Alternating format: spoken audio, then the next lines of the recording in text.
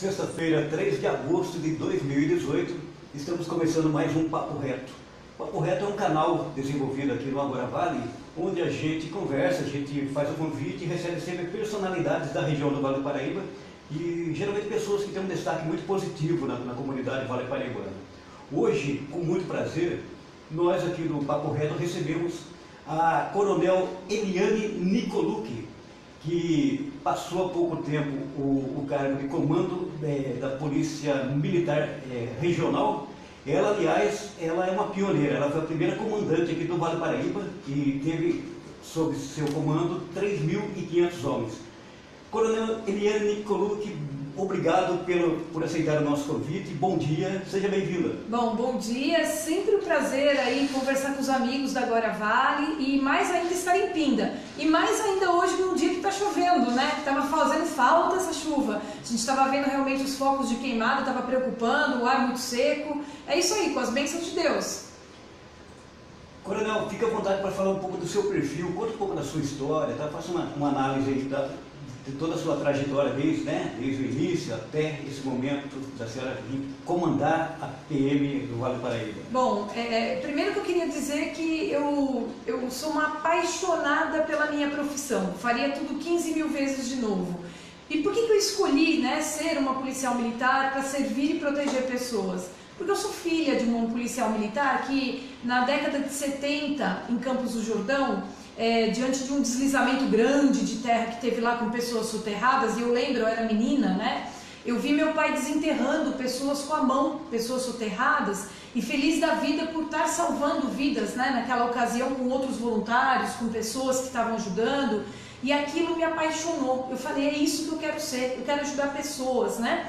E aí, ao longo do tempo, antes de entrar na academia de polícia, porque até então não tinha para mulheres essa possibilidade de vagas, eu ainda fiz um ano de engenharia na, na Faculdade de Engenharia Industrial lá de São Bernardo, né? E aí abri um concurso, e aí eu prestei o um concurso escondido, inclusive, da família, né? E acabei ingressando na primeira turma de mulheres. O fato de ser da primeira turma de mulheres que fez academia, imagina, uma academia com mais de 150 anos de existência, né? Onde estavam lá 800 cadetes, né? Homens, né? de repente entram 15 mulheres, foi uma mudança, uma transformação e um desafio para nós e para eles. Mas deu tudo certo, nós mostramos que era assim possível, né? A gente é, tá vivendo, está ocupando o nosso espaço, né? E ao longo da carreira, passei por vários locais, Zona Leste de São Paulo, Copom de São Paulo, a Casa Militar trabalhando na Defesa Civil por muitos anos, e aí a minha bênção, ter vindo para essa região metropolitana do Vale, né? que é onde minha vida se transformou, porque é onde eu consegui conciliar a questão do, do amor né, à região, conhecimento, é, a questão de um é, é, conviver com aquele, a, como é que fala, qualidade de vida, conciliar o papel de mãe, de mulher, de esposa e principalmente estar na região onde tudo começou, né? onde eu aprendi a, a amar, servir e proteger. É uma região, a nossa região é uma região desafiadora, é uma região que está entre as duas maiores metrópoles do nosso estado, né, São Paulo e Rio de Janeiro, cortado pela rodovia Presidente Dutra, né, que transporta mais de 50% do PIB nacional, recebe todos os anos 40 milhões de turistas, né, em cima de uma população que tem 2 milhões e meio de habitantes. Então é uma região que exige uma, uma dinâmica muito diferente, né? É, a gente tem que estar sempre se atualizando, sempre inovando na questão da gestão dos recursos. Aproveitando o gancho, é, os índices de criminalidade da região do Vale do Paraíba, isso foi muito comentado na mídia regional e estadual, mas a senhora conseguiu levar medidas efetivas que conseguiram reduzir bastante esses índices. Né? Ah, mas isso foi um trabalho de uma grandiosa equipe, não fui eu. Talvez eu tenha sido a pessoa que estava com a batuta na mão, né? Mas eu contei aí com esses 3.400 homens e mulheres que aderiram às ideias, que se motivaram com as propostas, que assumiram o compromisso de prestar um bom atendimento à população e principalmente dentro de um trabalho em rede com as demais polícias, Polícia Civil, Polícia Técnica Científica, Polícia Rodoviária Federal, Polícia Rodoviária Estadual, Ambiental, o Águia, né? o nosso BAEP, né? Então todo mundo trabalhando em sinergia, todo mundo se colaborando e principalmente estreitando um relacionamento numa troca de informações e execução de operações conjuntas. E teve mais um fator que foi decisivo para tudo isso: a adesão dos nossos prefeitos, o acolhimento que os nossos prefeitos deram às nossas propostas. Bom, vamos lá. Em 2016, quando nós tivemos as eleições municipais, nós entregamos a todos os prefeitos uma proposta de plano de governo municipal para a área de segurança. E grande parte dos prefeitos da região aderiram a esse plano, o que tem trazido bons resultados, porque disso derivou atividade delegada, derivou políticas locais de é, atenção maior a, a, bairros mais vulneráveis, né? uma atenção e uma valorização melhor dos policiais. Né? Então, tudo isso gerou esse resultado de queda de indicadores. Perfeito. Coronel, a senhora é pré-candidata aí pelo PR, né, a deputada estadual, né? É, em cima de toda essa experiência, dessa bagagem que a senhora tem, aliás, ademais, conheceram é, problemas sociais, é, bolsões de miséria, é, problemas familiares, isso, isso talvez a senhora tenha uma ideia, por exemplo, de criar uma agenda de proposituras justamente baseada nessa aproximação da polícia com a população? Claro, eu acho que esse foi um dos principais eixos né, de sucesso que nós conseguimos por conta exatamente desse estreitamento, dessa conjunção. Mas eu queria só falar uma coisinha, né? Eu não tinha ideia de sair na política, não estava nos meus planos de verdade, né? E aí o que aconteceu? Em meados de maio, algumas pessoas vieram falar comigo, sabedoras que estava, eu estava para completar meus 30 anos de serviço na Polícia Militar, sabedoras de que eu faria uma transição em breve para um novo comandante, me concitaram a me colocar à disposição para essa nova missão. Provavelmente em razão desse conhecimento, desse, desse mergulho mesmo que eu, eu, nesses últimos anos, há 15 anos, né, trabalhando aqui na região, quatro anos e meio diretamente no comando né, do policiamento das 39 cidades, então eu topei esse desafio. Por quê? Porque eu acredito que a nossa região tem um potencial incrível de desenvolvimento turístico, de desenvolvimento econômico. Nós somos polo de tecnologia, de desenvolvimento, de prestação de serviços, né? Nós atraímos gente do mundo inteiro. E isso dá para ser potencializado, né, na geração de sustentabilidade. E a minha proposta é essa, é trabalhar em dois eixos principais. Um primeiro eixo, como não poderia deixar de ser, seria fortalecer a questão da valorização das forças de segurança. Então, quando eu falo forças de segurança, é polícia civil, polícia militar, polícia técnico-científica, as nossas especializadas, né, rodoviária, ambiental, bombeiros e também agentes penitenciários e agentes de defesa civil. Todos eles compõem um quadro que constrói a segurança. Todos eles estão com o pé no barro lá da, da, do enfrentamento do dia a dia, né? E, e, essa valorização, ela envolve uma série de estratégias, né? Então esse é um eixo que eu pretendo trabalhar. O outro eixo forte que eu pretendo trabalhar são as áreas que promovem a prevenção do crime e da violência, que é o que? Sem dúvida, valores, né? Então valores familiares, fé, fortalecimento da fé, família, a questão da educação, né? A valorização dos nossos professores, do nosso ambiente escolar, Esporte, eu sou formada em educação física, eu sei o potencial que o esporte tem de tirar o jovem do, do, do crime, né? É, tirar desse assédio de traficantes, de colocar regras, de colocar disciplina de uma, de uma forma boa, promovendo saúde, né? É, a questão de grupos vulneráveis, tão importante, né? A gente está é, com um olhar especial para o idoso, né? Um olhar especial para crianças e adolescentes, para portadores de necessidades especiais e uma atenção também especial, é claro, né? O empoderamento da mulher. A mulher, não naquela linha assim de feminismo, é isso, mas naquela linha de que a mulher merece respeito, a mulher merece igualdade e a mulher merece estar onde quiser, merece ocupar seu espaço, né? Dentro das suas peculiaridades, dentro daquilo que ela pode contribuir. Então essas são minhas linhas de atuação. E inclusive planejamento e desenvolvimento urbano com foco em sustentabilidade. Né? Então isso é muito importante.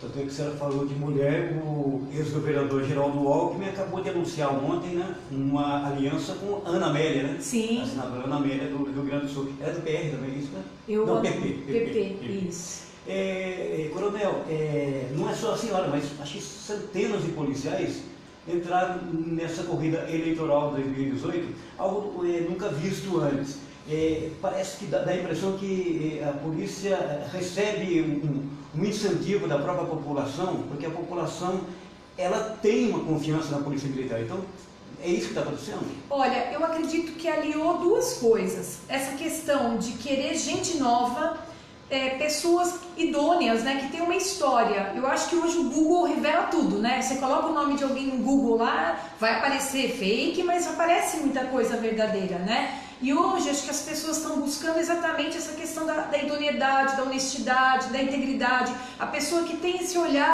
público, né? do interesse público, do bem comum. E a polícia, o policial, a vida toda vive para isso, né? inclusive às vezes até dando a própria vida para quem nem conhece. Né? E tem um outro fator também, que é o conhecimento em gestão pública. Veja, como comandante de uma grande região metropolitana como a nossa, eu tive, tive que lidar com a área financeira, eu movimentava em torno de 11 milhões ano, né, em questão de investimentos, custeio, isso envolve muita responsabilidade. Eu tinha que gerir pessoas, e eram mais de 3.500 homens né, e mulheres. Eu tinha que gerir logística, eu tinha que gerir estratégia, planejamento operacional, né? E tive que gerir também a questão política, né? Nós somos seres políticos, a gente tinha que interagir com deputados, com prefeitos. Então é assim, isso nos dá um conhecimento e talvez essa experiência que foi angariada ao longo de anos é, possa ser colocada à disposição da sociedade. Por que não? Né? Nós também temos condições de colaborar nesse processo político. E isso é bacana. Eu acho que a política é, tem que mudar esse conceito de generalização, que todo político é corrupto. Muito pelo contrário, nós precisamos mudar isso, nunca generalizar. E a senhora tem, vai ter também uma oportunidade de caso eleita trabalhar diretamente com emendas parlamentares né? e, políticas, públicas. Né? Todo esse conhecimento que a senhora, essa bagagem que a senhora tem, trabalhar diretamente com isso né? e deixar a população um pouco mais confiante né, numa melhora na, na segurança pública. A população precisa ser tratada com carinho, a população precisa ser ouvida. Eu acho que às vezes um erro grave que é cometido é que quem está hoje nos liderando, decidindo, acaba ficando muito distante daquilo que as pessoas realmente precisam. Então eu acho que o mais importante é a pessoa que se dispõe para uma missão como essa estar realmente à disposição das pessoas, da sua comunidade, né, da sua região ouvir as pessoas, é, estar acessível, exatamente para que a gente possa buscar projetos que atendam às necessidades dessa região e dessas pessoas que tiveram confiança na gente, não é? Eu acho que esse é o grande segredo, é trabalhar junto. Eu sempre, sempre tive essa característica de comandar, que eu brinco, né, dentro da, da área da polícia, é mandar junto. Então eu ouvia desde o do soldado mais moderno até o policial mais antigo, e essa estratégia de ouvir, de coparticipação, de pensar juntos soluções, foi o que deu certo. Dentre as proposituras que a senhora tem em mente, né, que, logicamente a senhora já tem alguma coisa elaborada, né? A senhora gostaria de ser marcada por algum projeto é, pelo menos a nível estadual, que, ah, eu na acho segurança que, pública? Eu acho que assim, um, uma coisa que me frustrou aqui na região é, é, essa questão do Copom regional, que ele, ele é muito mais do que um Copom, ele na verdade é um grande centro de inteligência e que vai agregar para trabalhar juntos todas as nossas forças de segurança. É um sonho, é um centro de operações de comando e controle integrado, né? Isso vai agregar muito valor para a nossa região, tanto na parte de inteligência, prevenção, é, repressão, investigação. Então é assim, esse é um grande sonho que eu tenho, né, para a nossa região de resgatar esse Copom, é, que é um baita do instrumento de união e a questão do trabalho em rede. Então eu gostaria de ser lembrada, quem sabe no futuro, por um trabalho em rede, por essa coisa da proximidade, de fazer é, entidades, pessoas diferentes, até de ideologias diferentes, interagir para os mesmos objetivos, porque eu acredito de verdade que juntos nós somos muito mais fortes. Essa é a minha crença sempre. Coronel, em cima da participação aí dos internautas, né, a Patrícia Zordan, é isso mesmo, Marcelo? Patrícia Zordan, ela ela faz uma pergunta para a senhora. Qual o projeto para a classe policial? Olha, é, a gente vê que os policiais, primeiramente, é, é claro que não depende de mim, mas eu posso brigar muito por isso, né? Mas a questão salarial precisa ser repensada, né? Quando a gente pega que nós somos a 23 ou 24 é, é, melhor, ou vamos dizer assim, um dos piores salários do país, tem que ser repensado. Eu, como comandante, muitas vezes tenho que buscar cesta básica para evitar que um policial meu passe necessidade, é muito grave, né? Então é uma coisa que certamente. Mas não é só isso. Eu acho que tem outras formas de valorização na questão habitacional, na questão de facilitar o transporte, principalmente daquele policial que presta serviços em áreas mais distantes, né? Áreas que é, tem problema de fixar aquele policial à sua comunidade. Então, sim, nós temos projetos de valorização, mas não só para a polícia militar. Eu acho que, eu volto a falar sempre, em forças de segurança. O agente prisional, por exemplo, o agente prisional ele tem uma vida extremamente estressante, né? Imagina o grau de estresse que esse, esse profissional enfrenta. Então ele tem um plano de carreira, né? Ele tem um plano, vamos dizer assim, de previdência diferenciado, né? Porque merece um atendimento psicológico, né? Um apoio psicossocial, porque é um profissional que merece esse tipo de atenção diferenciada. Eu não acho que nós estamos em um momento de privilégios, mas um momento de tratar desigualmente os desiguais, né? Eu não estou conseguindo entender aqui o nome da, da, internauta que mandou a pergunta, mas é uma mulher também. Qual, é, qual presidente você apoia nessas eleições? Olha, eu ainda estou na fase de é, escolha, né? Porque a gente tem que acompanhar agora os debates e tudo mais. Mas, diante de todos os que estão se apresentando hoje, pelos valores, pelas propostas e pela principalmente a proposta de mudar, de renovar, eu estou tendendo a ser o presidente Bolsonaro. Certo. Uma pergunta de jornalista. Nicolú, que é polonês? Russo. Russo. Russo. Tá na moda, hein? Rússia. É, tá Coronel, é, muito obrigado. Já, é, agradecendo aí. Tem um, último, um último, um último espaço para a gente encerrar aqui. Então, já de antemão agradecendo a, a, sua presença aqui. É um grande prazer ter a senhora aqui. A gente deseja muito boa sorte e deixa aqui esse espaço final para a senhora fazer seu comentário final, alguma mensagem. Ai, né? posso então? Fique à vontade. Qual que é o recado que eu queria deixar? Eu olho para aí? Então vamos lá. O recado que eu queria deixar para os internautas. Pessoal, eu acho que a gente tem que se revoltar, mas assim, revoltar no bom sentido, de buscar soluções, de ser crítico, Pesquise direito o seu candidato, olhe o histórico, vê quem é essa pessoa, vê qual é o legado que essa pessoa construiu, né? E assim, eu acho que a gente tem que incentivar, inclusive, os nossos veteranos, as pessoas idosas, a nos ajudar a escolher boas pessoas, né? É um momento agora em que nós temos a oportunidade de transformar. Olha, eu, o que me dói demais é ouvir, eu, eu ouvi minha filha, por exemplo, falar que quer ir embora do nosso país. Jamais. Eu acho que o Brasil é nosso, nós precisamos cuidar do nosso país. Então, vamos com fé, vamos nos unir, vamos nos unir em torno de causas boas e agora é o momento da gente fazer a nossa parte, né? Escolha os seus melhores representantes, dê chance para essas pessoas que realmente querem fazer a diferença. Esperança é o recado que eu quero deixar.